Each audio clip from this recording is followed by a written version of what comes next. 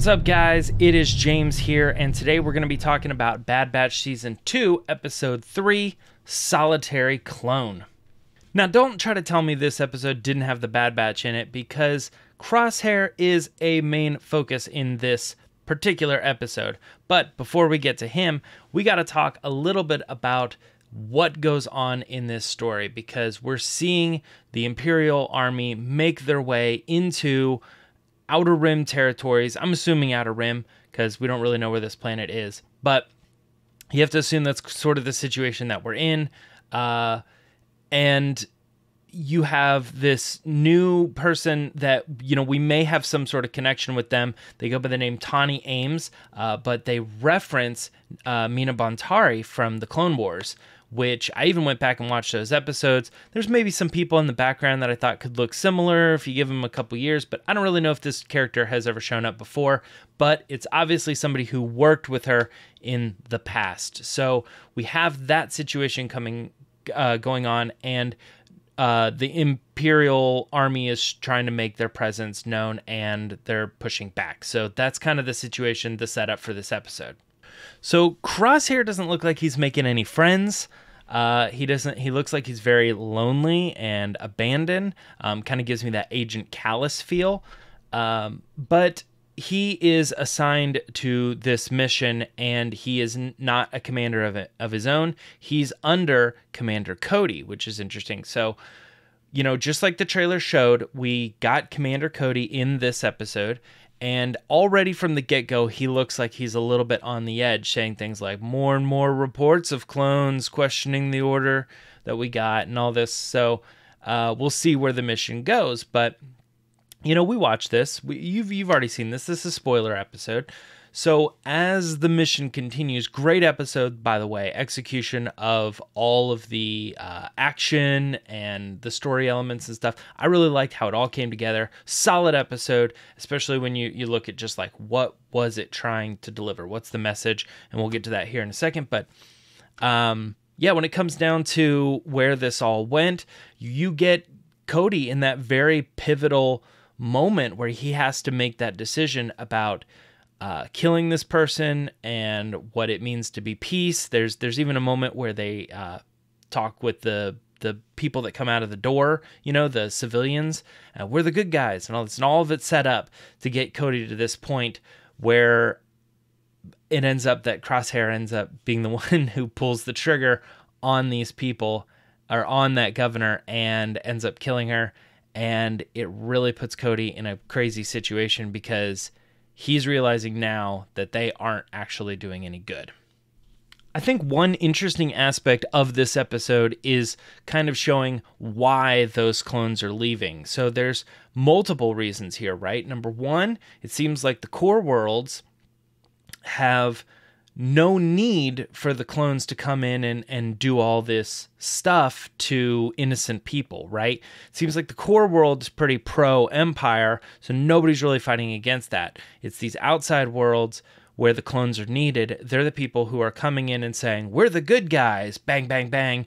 And then realizing maybe we're not like like are we the baddies kind of thing, right?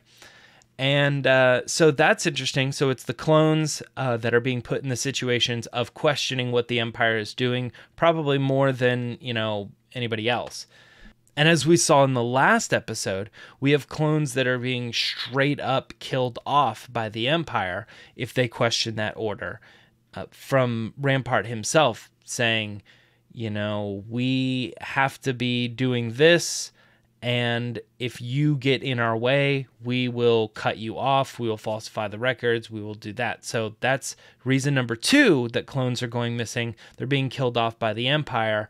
Uh, and number one, again, being they're just questioning the order in general because they're seeing who they're actually harming.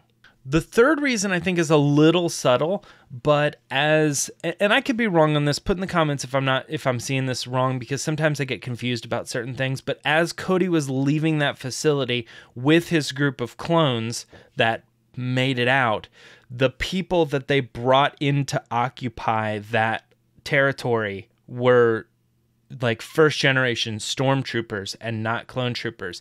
So it was very evident to Cody and to uh, Crosshair at that moment that they were sort of in the process of being replaced.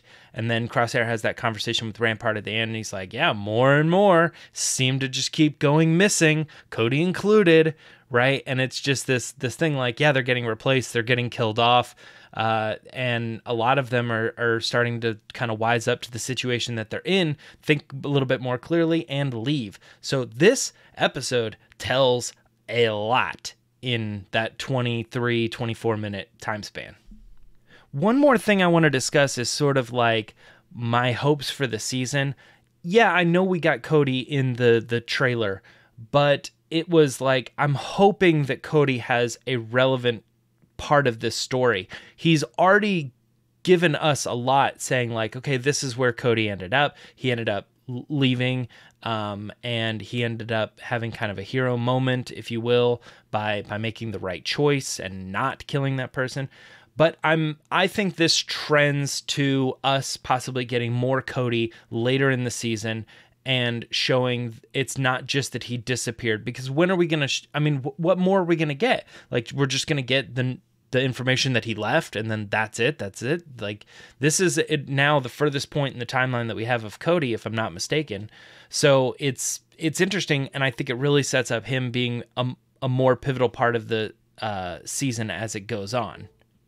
Which is interesting because I sort of predicted that he would be the bad clone and that he would continue down that path, and that would give another reason for Crosshair to be redeemed. But more so in this episode, they show Crosshair making the bad decisions.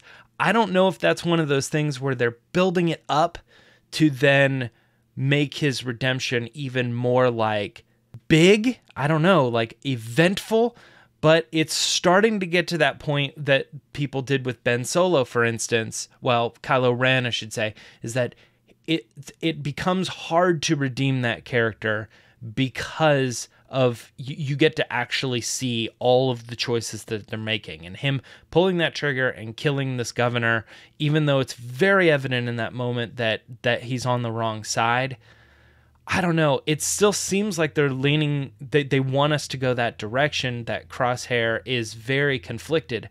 But I'm having a hard time thinking now, after just a few episodes from my hopes of season two video, that he's going to end up in a good place. And I think if like they do redeem him, it might end up being more of a Darth Vader situation where it's like at the last minute he does something, but he doesn't make it out or something along those lines. So don't forget that I am watching these episodes the same as you guys are. I do have advanced copies, but I'm only watching one episode and doing my recording. So when I'm speculating, I'm speculating the same as you and I am very excited to see where it's going to go. I don't know at this point. So if you guys want to have that conversation, make sure you leave a, a comment uh, in uh, the, this video and you know like and subscribe and do all that other things so we can continue our conversation into later episodes.